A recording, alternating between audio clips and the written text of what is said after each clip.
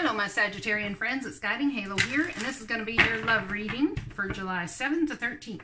If you have liked, shared, and subscribed, thank you so much for doing so. If you have not, please do so. I'd appreciate it. If you leave a comment down below, I'll be sure to get back to you. Also, this may resonate, may have happened already, may happen, something, maybe something that's coming up. Timing is fluid. If we all had Divine's time and knew what was going on, well, wouldn't that just be something? just saying. All right. See what we got going on for love from a Sagittarian. Sagittarian love for second week of July.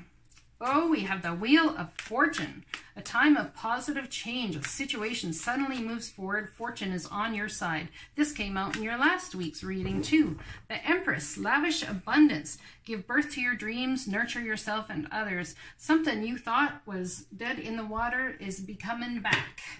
Or something you thought was stale and stagnant is having a rejuvenation and it's going to bring absolute victory something that perhaps before there was cheating, lying, stealing that you got some information about, or maybe you were thinking about just getting out while the getting's good. There's going to be new energy brought in here, a time of positive change. This is beautiful.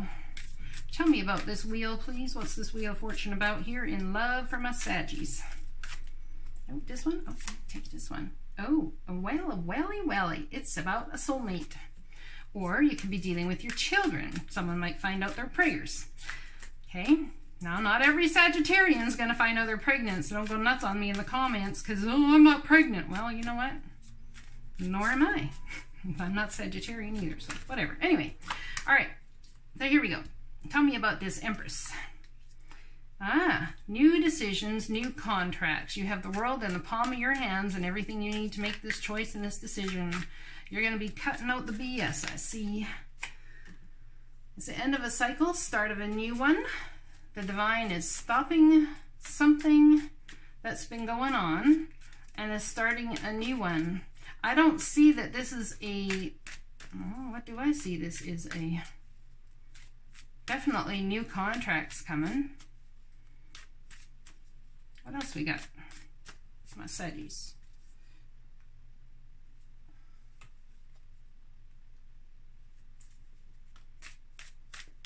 End of a cycle, start of a new one. Yeah, someone felt very much left out in the cold, but there's two people in that Five of Pentacles. Perhaps the Divine's walking beside you and you don't even see it, hmm? Moving away from rough waters to calm waters, possibly taking your child along. Maybe you've wanted to end something for a long time. You've been holding on to something for a long, long time and you've just given up the ghost and said, enough, I'm just so done. Moving away from rough waters to calm waters with a lover, possibly.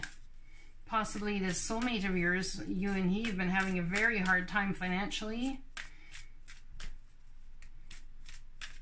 Supporting and dealing with money and issues in a love situation a home and you're putting down the burdens where that's concerned because the wheel of fortune is spinning and it's going to be the end of you feeling out in the cold financially, my friends.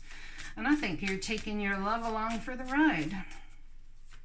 So we got the lovers here. So this is about a commitment, a love, it's a decision.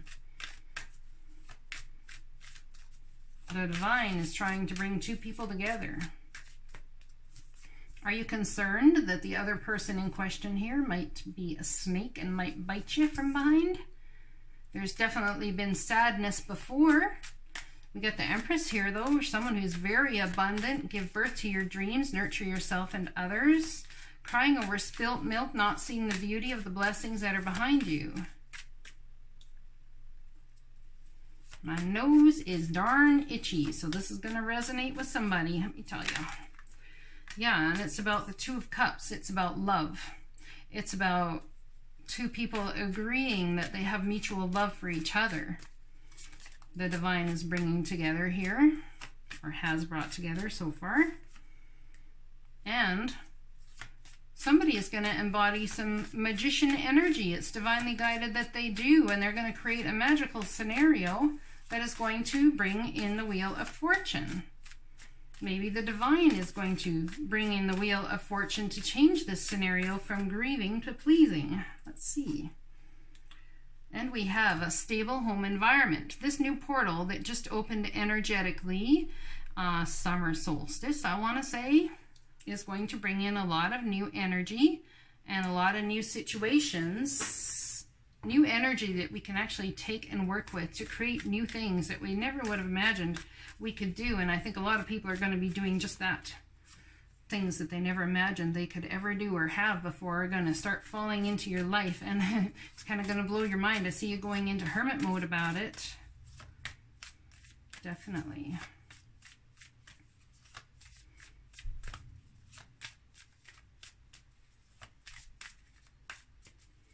Perhaps there's an ending to something that's been going on financially, and it is the Wheel of Fortune, but maybe you don't see it as the Wheel of Fortune. But this definitely has to deal with your soulmate or children or someone you've been in business before with. The divine's coming in, stepping in to change your trajectory. So these people were in a grave before. They are no longer. They are awake. They are alive. They are ready to go. And something you thought was dead for yourself, something you thought you could never be again, something you thought you could never have again. Maybe that's love for you. Maybe you never thought you'd have love again of the divine stepping in to change your mind about that, to change the trajectory of the path you're on. So we have, when you take excellent care of yourself, everybody benefits. Give yourself a relaxing treat today, such as a massage, sea salt bath, or a pedicure. So what this is telling me is when this comes in for you, it's going to be a blow. It's going to be a bit of a blow to your mind and your heart. You're going to be happy. You're going to be excited to finally come out of the cold, come out of this with maybe you feel like the divine's left you just hanging forever. Well, divine's changing that, my friends. You're going to need your energy because it's been an absolute bloody battle. I actually think you're going to fight this, this contract the divine wants you to take up. It's going to take great strength for you to accept it. That is for certain, but it's divinely guided you do. Absolutely. So something here needs to be dealt with and the divine's bringing it back, but things are not as they seem. So if you're all up in your head and you want to fight it and you're like, it's going to be a bloody battle, things are not going to be that way. Okay? Trust me. The divine's saying so. Yeah, you've been stabbed in the back before, but things are not as they seem. Maybe this is saying that things are not as they seem and don't go ahead rushing headlong into a situation. But I see that your Ten of Pentacles are coming. Or this could be an ending.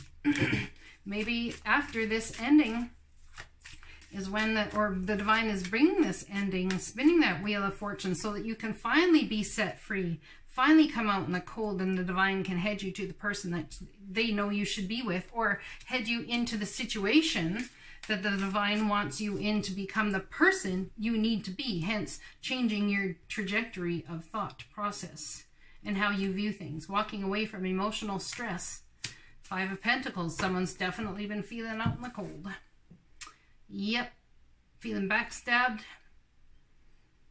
left out in the cold, standing there holding the money bag and the money bag's empty. Someone took advantage of your finances, your heart in every way.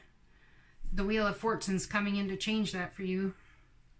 And it could very well be in the form of love. Definitely in the form of relationships, and a new home stable environment. That's the divine bringing that to you, my friends. Why? Because you've done the work and you deserve it. Divine doesn't bring stuff to people, you know, that don't deserve it. All right, I'm going to talk to you later. Blessings to you all. Let me know if it resonates.